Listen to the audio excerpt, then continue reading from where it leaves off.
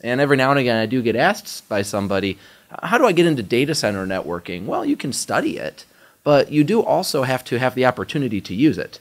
And it can come in, you know, you can, you can really try to brute force it and say, okay, I'm going to go get all the certifications and go try to get a job that allows me to use that. And that path works. But it's really not about the technology again, it's about what is my mindset around evolving whether it's to the cloud, which is absolutely a huge thing, but not never, every network engineer is going to see that, well, you know, cloud is an integral part of my day to day. And so as long as you're having the attitude of this is kind of what I like, but I'm not going to, you know, build a wall around it. You know, the classic example is the old telephony PBX guys. I know I was around some of those. They're like, you know, I'm not going to learn that fancy voice over IP technology because PBXs have been around forever, so they will be around forever. Yeah. And they saw themselves out of the building eventually.